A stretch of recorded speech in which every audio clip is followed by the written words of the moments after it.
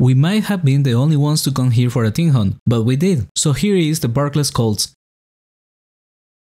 This spawn is located in Ab'Dendriel, and even though you can access part of it just by talking to one NPC, the full respawn is part of the Calls of Tibia quest. And in order to get access to certain areas, you need to do some tasks, and for that I have a separate video which also covers the boss, but basically you need to go from one point to another within a certain time. So you will need to do the first two and with that you get access to the full area, making it viable to hunt in here. Also, there is only two creatures, and as long you're hunting the full lab, the kills are pretty even, which is good news for bestiary. However, it will be bad news for your wallet, as this spawn is 100% waste. Not a single valuable thing drops from them, so it's a straight up waste. For that reason, it is not a spawn people think about for team hunting, and is normally only hunted by solo Ikes as the experience is worth the waste for them. But during a double experience, when everything is taken and you need to think outside the box, then it becomes a good alternative. So let's break down the lab we use. Just north of the entrance is the first pool. Next up, follow the path to the right and do one there. Going south towards the tar pit is bad,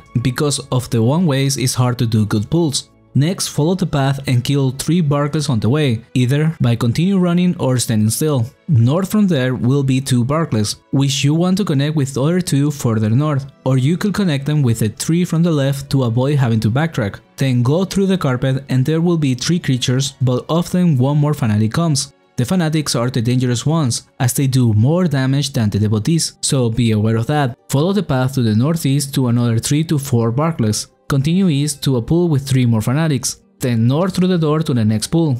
You might not be able to open the door. If that happens, you need to open it from the other side once, by crossing the carpet back where you came from, and then it will be possible after that. But unfortunately for this pool, it's common that a creature ignores the Ike and goes for the shooters. That normally happens when crossing doors. Creatures tend to keep aggro on different targets. So pay attention to resting the monsters, then move on to the left to do one pool with 4 more monsters. And then the next one at the crossroads can be quite scary as it is easy to overlure, and as I said before, fanatics hit hard. Then for the next one, go southeast and get close to the carpet, just enough to lure out a Barkless that tends to be around there. And while doing that, the paladin can go to the right and lure 2 more fanatics. Then backtrack and go west, and if there is still any monsters left, stand on the door to hit both sides. And if not, then lure the 3 to the south to connect them with 2 over there. Then the next pool to the south, you will need to walk towards the northeast path to bring another Barkless.